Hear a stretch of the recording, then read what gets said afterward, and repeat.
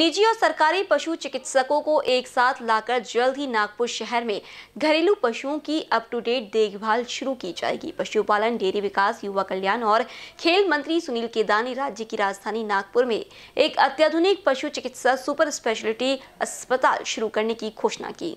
विदर्भ में पशुधन को विश्व स्तरीय चिकित्सा सुविधाएँ मिले। मौजूदा पशु चिकित्सा महाविद्यालय के क्लिनिकों को अपग्रेड किया जाना चाहिए। उन्होंने निजी एवं शासकीय पशु चिकित्सा अधिकारियों की श्रम शक्ति का मिलान कर उच्च गुणवत्ता वाली चिकित्सा सुविधाएँ उपलब्ध कराने की दृष्टि से सभी आवश्यक प्रस्ताव बनाने के निर्देश दिए। मध्य नागपुर की पशु चिकित्सा क्लिनिक परिसर में आज वैज्ञानिकों, प्रोफेसरों और पशु चिकित्सकों के विचार मंथन सत्र का आयोजन किया गया।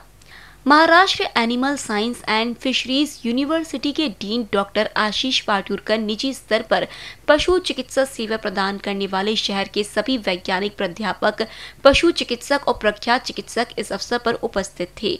संयुक्त आयुक्त शीतल कुमार मुकने ने पुणे में प्रस्तावित अस्पताल पर एक प्रस्तुति दी। सभी विशेषज्ञ समूह को राजधानी में मुंबई, पुणे की तरह एक अत्याधुनिक पशु चिकित्सा सुपर स्पेशलिटी अस्पताल स्थापित करने का प्रस्ताव देने का सुझाव दिया गया था। इस बार जनशक्ति का सवाल आया। इसके लिए केदार ने दिया, हमारे पास एक अप टू डेट सरकारी प्रणाली है और इस अघतन प्रणाली और उपचार प्रणाली से घरेलू पशुओं को लाभ होना चाहिए। गायों को स्वस्थ रखने, उनके स्वास्थ्य का ध्यान रखने, उनमें नई तकनीक जोड़ने करने का काम यहीं से करना चाहिए। इसके लिए उन्होंने निजी और सरकारी में कोई भेद किए बिना समन्वय कर समाधान निकालने के निर्देश दिए। पशु स्वास्थ्य पर विचार करते समय हमें दीर्घकालिक उपाय करने की आवश्यकता है। इसलिए विदर्भ में ऐसी अप टू डेट प्रणाली स्थापित करने की आवश्यकता है।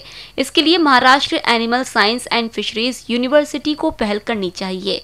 उन्होंने यह भी निर्देश दिया कि इस संबंध में आपकी तकनीक, आपके शोध और अध्ययन को मिलाकर एक उचित प्रस्ताव बनाया जाए। उन्होंने पिछले कुछ वर्षों में महत्वपूर्ण प्रजातियों की घटती दूध क्षमता पर भी चिंता व्यक्त की। उन्होंने गिरावट के कारणों का अध्ययन करने का आह्वान किया। उन्होंने उपयुक्त प्रजातियों को बढ़ावा देने के लिए कृत्रिम गर्भाधान के क्षेत्र में हो रहे शोध के बारे में भी पूछा। दमिशक बकरियों की अगली पीढ़ी के लिए बकरियों को कैसे पाले इस पर चर्चा हुई। कैमरा पर्सन राजकुमार मोहर के साथ अभिषेक पानसी बीसीएन न्यूज़ नागपुर।